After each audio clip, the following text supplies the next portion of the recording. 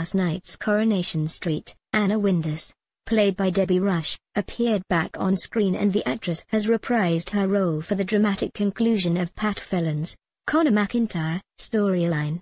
But viewers were astonished by the character's return, especially when fans thought she was serving an unjust five-year prison sentence after being framed for pushing Seb Franklin.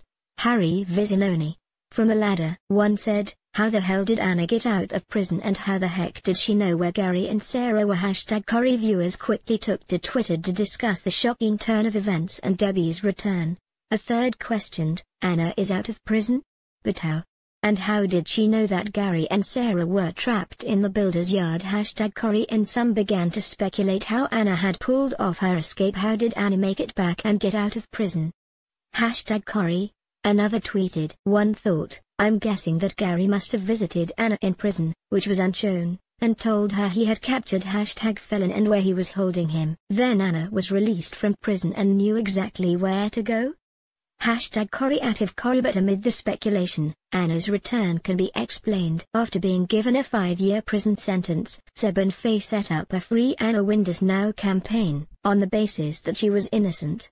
Whilst viewers weren't given any updates about whether or not their campaign was successful, it could be said that Anna has been exonerated for the crime following her shock appearance on the cobbles last night. Fans were ecstatic to see a Corrie favorite return.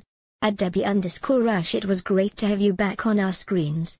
Everyone has missed Anna X I nearly fell off my sofa. Fab to see you back hope you're staying. Brilliant to have you back please stay.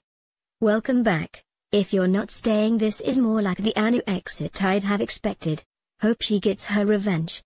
It came after Anna went to rescue her son Gary, Mikey North, and his girlfriend Sarah Platt, Tina O'Brien, in last night's final scenes after Phelan had tied them up and left them at the builder's yard.